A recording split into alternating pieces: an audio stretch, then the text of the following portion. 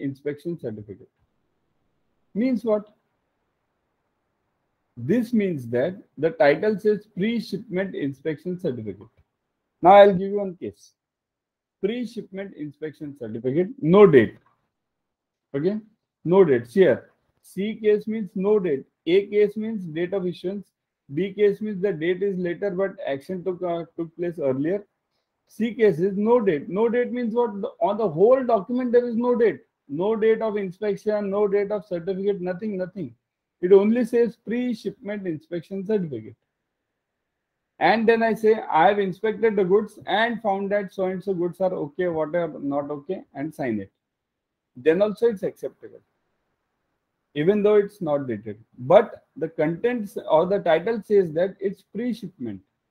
Now give, give you a second case. The title says pre-shipment inspection certificate and the contents